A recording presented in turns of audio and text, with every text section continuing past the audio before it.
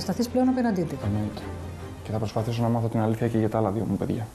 Πρέπει να βγει, δεν πρέπει να βγει με τα λάθη που έχουν γίνει. Έστω και αργά, πολύ αργά, γιατί αν είχε βγει από την πρώτη ιατροδικαστική της Μαλένας τότε που έπρεπε, δεν θα είχαμε φτάσει εδώ. Αν είχε βγει από τη δεύτερη ιατροδικαστική της Σύριδας, δεν θα είχαμε φτάσει στην Τζορτζίνα.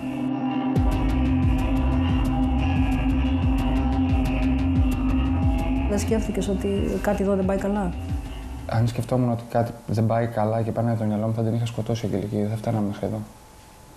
Ούτε μέχρι τη σύλληψη. Μιλάμε για τα παιδιά μου. Ποιος πατέρας θα βλέπει κάτι και δεν θα άφηνε, θα άφηνε τα παιδιά του έτσι. Και γενικά ποιος θα βλέπει κάτι σε κάποια παιδιά και θα τα άφηνε έτσι.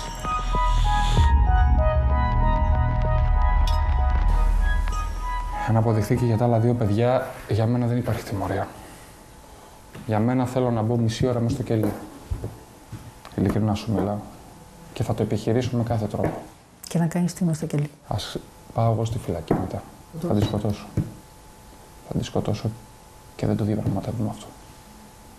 Μιλάμε για τα παιδιά μου.